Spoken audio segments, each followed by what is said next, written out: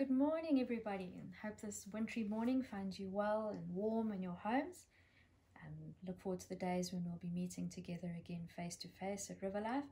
But till then, what a privilege that we can still connect and share our lives with each other. So today I'm going to be sharing the word with you, uh, literally a word. It's a very little word, but a very powerful word. I'm going to be looking at the word but. So if you were going to title my sermon anything, it would probably be I like big butts. So just bear with me. So the word but is a is a very powerful word for such a small word. It has huge impact on how we do life. And um, let me give you an example. So if someone was to come to you and they've they've hurt you or offended you, and they come and say, "I'm so sorry," but da da da da da da da. The but negates everything that came before. The apology's just been wiped out because the but changes the whole dialogue of the conversation. And um, the word but negates or cancels everything that went before it. And it's generally accepted as a signal that the really important part of the sentence is coming up. When we find a but in a sentence, anything that follows a but, that's the important stuff. And when you use it, most people listening to you will give more attention and more weight to what you say after the but.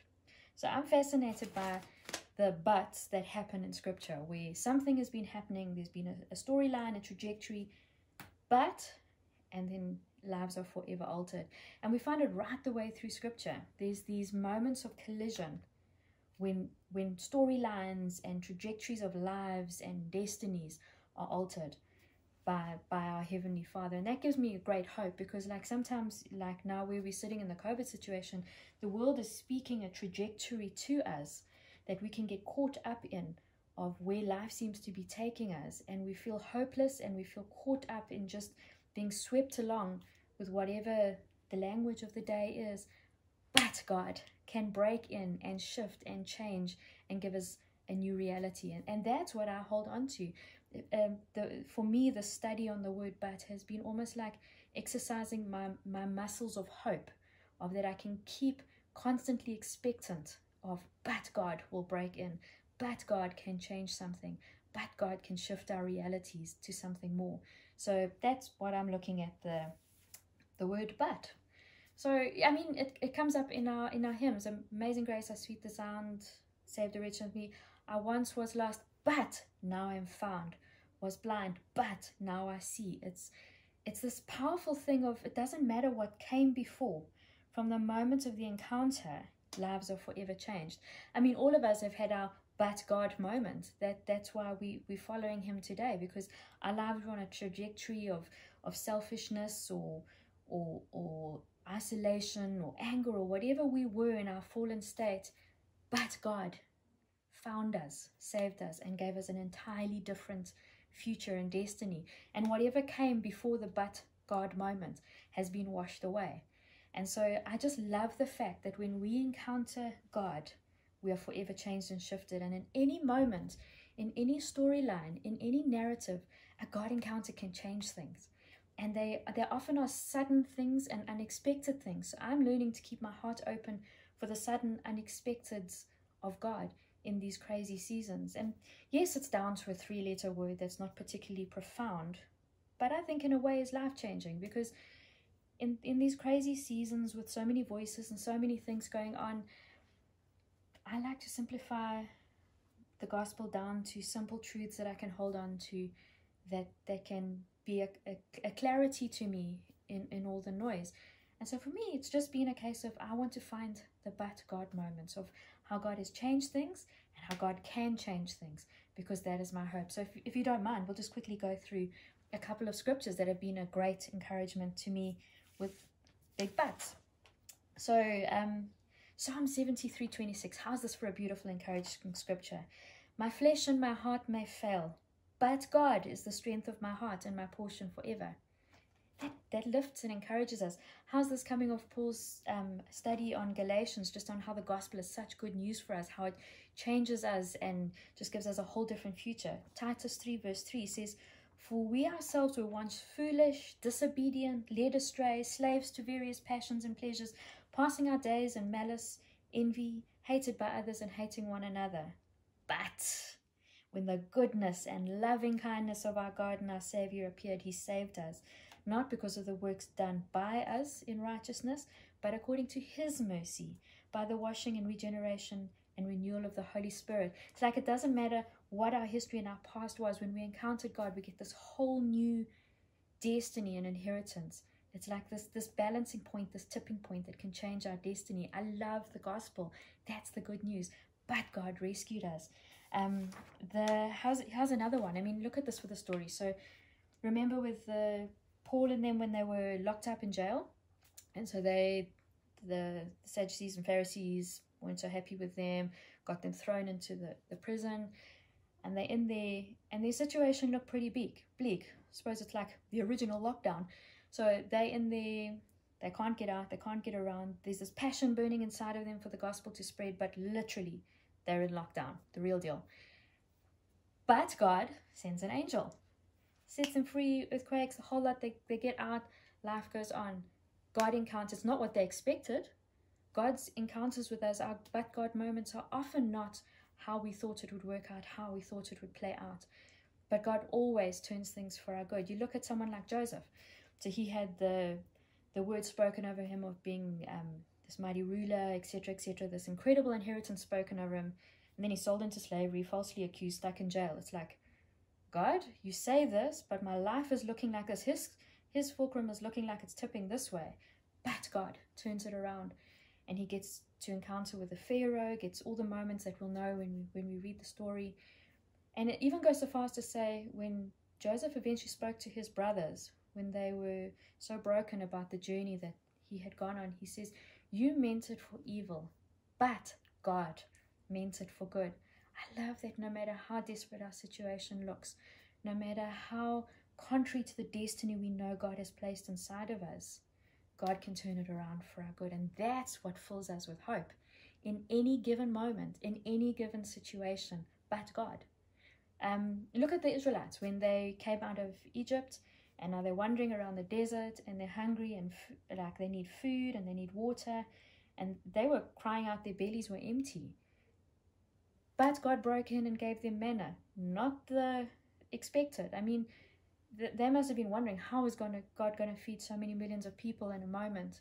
And he comes up with manna. It's a but god moment a solution a, a, a breakthrough a freedom that was unexpected. Um yeah so there's just constantly when you when you read through the word of god look for the word but because i find that every time it, it comes in in a statement or, or sentence what follows is a freedom and a liberty and a destiny and a breakthrough that i want to live in it, it fills me with hope and when god speaks of an alternate future for us we will look at a situation we'll feel overwhelmed we'll feel like there's no hope we'll feel like we're stuck. But God will break in, bring freedom, bring liberty, bring life. We could be struggling with our health. But God could heal us. But God could take us to be with Him. Either way, it's a win. God wins with whatever hand He's dealt. So, yeah, so, but God breaks in. So I realize there's this, when I see but in my life, when I'm looking in terms of what the Father does for me, it's always in terms of this almost like tipping scale. So I have where I'm at, what I'm thinking, my negativity, a but God moment, and then this change in perspective, change in position, change in destiny. And I'm sitting at this tipping point of I can look at the negative of where life is, what my situations feel like, what my emotions are telling me, or I can put my focus on the Heavenly Father. But God, you can break into this moment. You can change it. And when I turn from my perspective to God's perspective, I find that things level out and there's hope and there's life and there's destiny. And I'm, I'm filled and restored with faith again. And we have to learn how to keep our eyes on Him, on the fact that He can change things, He can bring things, He can break things through for us. He's redeemed us. He saved us from ourselves. He saved us from the path that we're on. God has broken in and changed us through. And then there's also some other buts that I find come up in my life. Some of them are my excuses. So when I'm feeling something from God, or it'll be like He's challenging me on something, I'll go, but God, and I come up with an excuse. I look at things of all the reasons why I can't, all the reasons why I shouldn't. But God, and it's like tipping the point back to not being a person of hope. So I'm trying to recalibrate my heart to, but God, yes, you. Whatever you say, I will do. So I've actually found a couple of scriptures that have been incredibly helpful for me to just look at the but God moments that He calls me to and how I posture myself in this season. So I just want to give you four good ones that have been big buts for me. Psalm 73 26 says, My flesh and my heart may fail, but God is my strength, my heart, and my portion forever. I hold on to that. 2 Timothy 2 1 verse 7 For God didn't give us a spirit of fear, but of power, love, and self control. I have to choose in the moment when I'm starting to feel fearful of whatever the situation is. That's not my portion. God has given me power, love, and a sound mind, and I choose to reorientate myself back to that. When I'm fearful, but God, I will follow Him. Romans 12, verse 2, we all know this one. Don't be conformed to the pattern of this world, but be transformed by the renewing of your mind that is, by the testing, you may discern what the will of God is, what the good and acceptable and perfect will is. I have to choose. It's almost like that but in the sentence is whether I'm going to be conformed to the pattern of this world, but I will choose to be transformed. It's a turning moment in any given situation, whether we're going to put our focus on God or the situation we find ourselves in. And then my favorite scripture of all time, like my life verse, I love this one. Philippians 3 verses 12 to 14 says, Not that I've already obtained this or am perfect, but I press on to make it my own because Christ Jesus has made me his own. I don't consider it, I've made it my own, but one thing I do, forgetting what lies behind and straining towards what lies ahead, I press on towards the goal for the prize of the upward call of God in Christ Jesus. It's like this, it's this tipping point again. It's I'm going to forget the past. I'm going to forget my mistakes. I'm going to forget situation and circumstance and where I've made mistakes. I'm but I'm going to press on to take hold of that for which Christ Jesus took hold of me. Any situation, nothing is hopeless. Nothing is too much. Nothing is impossible. God can feed with manna. He can send an angel to get you out of jail. He can provide finances when there isn't. He can bring healing when we have no hope. He can restore relationships when we think that we are isolated and social distancing, and yet God can restore relationships even with distance. But God, we Satan may have a plan, but God can turn it into something so beautiful and so sweet. And like now in our season of lockdown and and um, COVID and all that stuff, but God, I will choose to look at what He has given me, what what strength, what friendship, what um, just the blessing of the things that He's given us, of people in our lives who we love, of people who we can connect with. And so, in this season of that we find ourselves in, let's choose to keep our eyes focused on who He is. That we'll never be overwhelmed by situations. That the our heart's cry is, But God, you can do anything. But God, you have taken me from where I was and you're putting me on a new trajectory of who you see me to be. But God. So I won't have fear. I won't be intimidated. I won't lose hope because my God in His Word gives me strength. So I love looking through the Word for the big buts, for the alternate realities, for the change in destiny, it's like when you're watching a movie and someone is like going to down a river and they're drowning, but someone comes in and rescues them. Um, the Israelites running from the Egyptians, they hit the Red Sea. There's no hope; they can't get across. But God makes a way for the sea to open. It's the all of us have been binge watching TV. That's the that's the the the hero coming in, changing the the story, changing the destiny, bringing hope. That's who God is to us. But God, we will always keep our hope, keep our faith, because God is always good. And but God, who knows what can happen? Who knows where we'll be?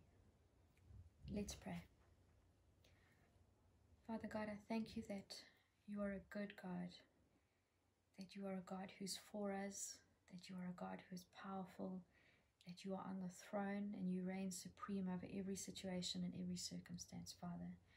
And so, Lord, we just choose to fix our eyes on you, Father God. We choose to live with full of hope and anticipation of what you're going to do, Father God, that we choose not to be overwhelmed by situations and circumstance, whether it be health or finances or loneliness, Father. You can turn anything around for us, Father, and we will fix our eyes on you, knowing that breakthrough will come, Lord Jesus. Father, thank you that you are so good, that you love us so dearly, that you have been so generous to us, Father. We love you, Lord. In Jesus' name, amen.